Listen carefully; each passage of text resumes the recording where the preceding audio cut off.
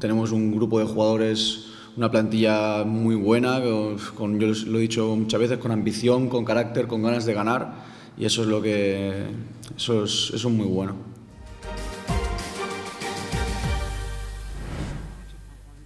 El buen inicio de la temporada para la de Ceuta es culpa también de los jugadores. Uno de ellos es Carlos Doncel, que está atravesando por un gran momento y parece que estará en el once titular de este domingo ante el Melilla. Doncel considera que afrontarán el encuentro con mucha ambición. Bueno, pues con ganas, como hemos afrontado los últimos partidos, con esa ambición, con esas ganas de ir a por los tres puntos y esperemos un, buen partido del equipo, con un buen ambiente en Murube y, y que podamos conseguir los tres puntos.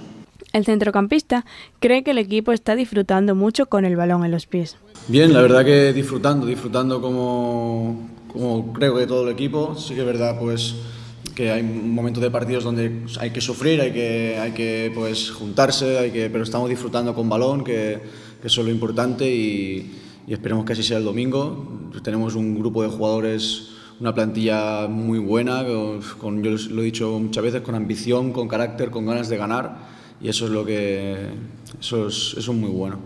Igualmente, cree que el equipo necesita mantener el ritmo alto durante más tiempo.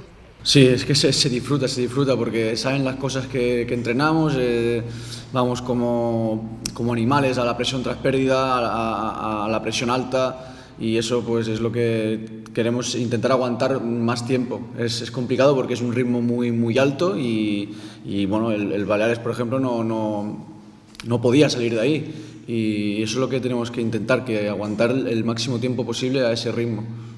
Carlos Doncel volverá a ser protagonista este domingo en el derby norteafricano ante la U de Melilla.